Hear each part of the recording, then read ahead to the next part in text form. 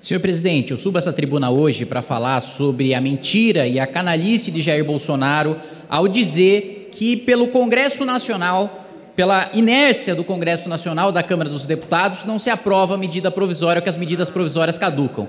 A medida provisória número 1000 hoje é só um exemplo, presidente, de como o governo tem maioria na Câmara para aprovar suas medidas provisórias e para retirar de pauta, como retirou a medida provisória número 1000. E não é a primeira vez. Eu trabalhei durante meses junto com o governo na medida provisória 905 da carteira verde e amarela pela sua aprovação. Aprovamos no plenário da Câmara dos Deputados e o governo escolheu retirar e fazer a medida provisória caducar. Várias outras medidas provisórias também.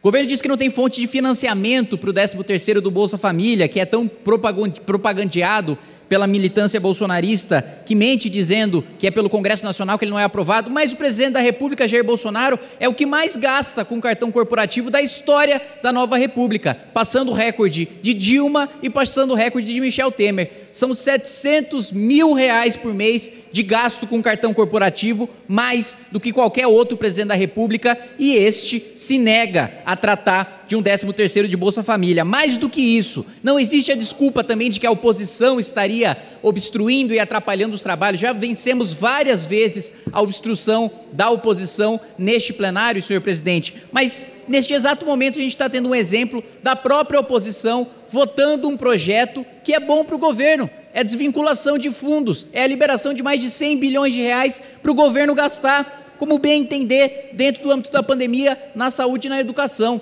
O governo não tem a desculpa de que não tem maioria no Congresso Nacional, não tem a desculpa de que é o Congresso Nacional que está barrando as suas pautas, porque é o próprio governo que barra suas pautas e que faz as suas medidas é, provisórias caducarem. Muitas vezes, quando eu critico o ministro Paulo Guedes, presidente, militância bolsonarista vem dizer que é porque é fácil eu reclamar, porque o Congresso Nacional que barra as privatizações. A privatização da EBC que o Bolsonaro prometeu não necessita de aprovação do Congresso Nacional da Valec não necessita de aprovação do Congresso Nacional, basta um decreto para incluir no Plano Nacional de Desestatizações aprovado no governo Fernando Henrique.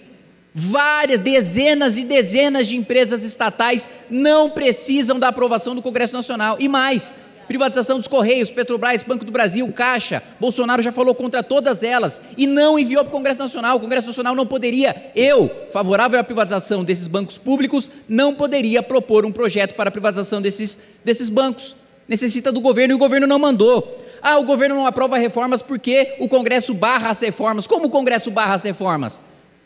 Paulo Guedes disse em 2019 que enviaria a reforma tributária na semana que vem. Essa semana que vem já dura mais de um ano, com um terço de reforma enviada.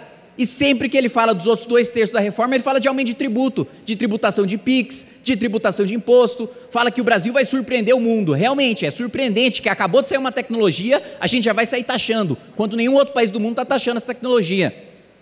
Reforma previdenciária, senhor presidente, o senhor sabe mais do que qualquer um dentro dessa casa como esse debate foi iniciado no governo Temer e como foi conduzido e aprovado pelo parlamento, apesar do presidente Jair Bolsonaro e apesar do Ministério da Economia. O presidente Jair Bolsonaro, a única vez que me pediu pessoalmente voto na reforma previdenciária foi para votar o destaque para tirar policial federal da reforma. A única vez que o presidente da República veio aqui até este parlamento para falar de reforma foi para desidratar a reforma do próprio governo, para atender a sua própria base prisão em segunda instância, porque o Congresso Nacional não vota, não aprova prisão em segunda instância. Os próprios deputados da base do governo operando dentro da comissão especial para ela não ser reinstalada e para a gente não votar a prisão em segunda instância. Os próprios deputados, PP, PL, atuando, operando dentro da comissão da qual eu faço parte, da prisão em segunda instância, para que ela não seja pautada, para que ela não seja votada. Auxílio emergencial, que o Bolsonaro adora dizer que é o grande autor, é o grande pai, sequer mandou projeto para o Congresso Nacional. Havia um projeto no Congresso Nacional que o governo apoiava para o auxílio de 200 reais.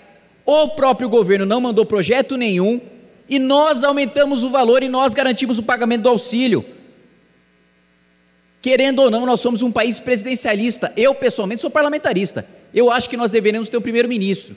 Eu acho que o presidente da República deveria ser o equivalente ao Itamaraty, representante-chefe de Estado. Mas nós estamos num país presidencialista.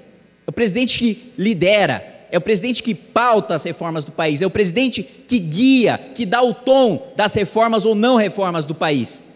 E o presidente da República, como já deixou muito claro, aliás, no seu discurso no CEAS-GESP, não tem o menor interesse de pautar qualquer tipo de reforma ou de privatização.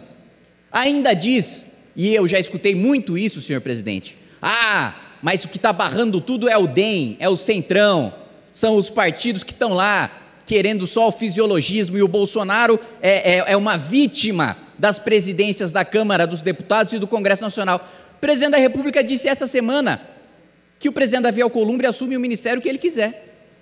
Peraí, não eram grandes inimigos? O presidente da República não era vítima? Como agora o presidente do Senado vai virar ministro? Sempre fez enfrentamento ao Supremo Tribunal Federal. Agora disse que se fosse, estivesse no lugar do ministro Cássio Nunes, votaria a favor do Lula da mesma maneira que o ministro que ele acabou de indicar votou. Olha só que coincidência. Mais do que isso, e para finalizar, senhor presidente, durante os últimos meses, eu fui obrigado a escutar de militância bolsonarista que seria o fim do Movimento Brasil Livre, que seria o fim de todos aqueles da direita traidora que se colocaram contra o presidente Jair Bolsonaro. Mas o que a gente viu na eleição de 2020 foi o MBL aumentando na cidade de São Paulo, número de vereadores de 1 para 3 e os bolsonaristas não elegendo ninguém. Ninguém, senhor presidente, na cidade de São Paulo, zero indicado pelo presidente da República. O presidente só faz alianças não para aprovar qualquer reforma ou privatização. Ele faz aliança para proteger o filho quadrilheiro, corrupto e vagabundo. E eu quero que fique registrado que não só o filho, mas o presidente da República são quadrilheiros, corruptos e vagabundos. Atenção, ministro da Justiça, eu desafio Vossa Excelência, eu estou cometendo agora um crime contra a honra do presidente da República, que fique registrado nos anais da casa. Vagabundo, corrupto e quadrilheiro. Se tiver coragem, me processa que a gente vai discutir o mérito de cada uma dessas três acusações que eu faço ao presidente da República e ao filho do presidente da República no tribunal. Obrigado, presidente.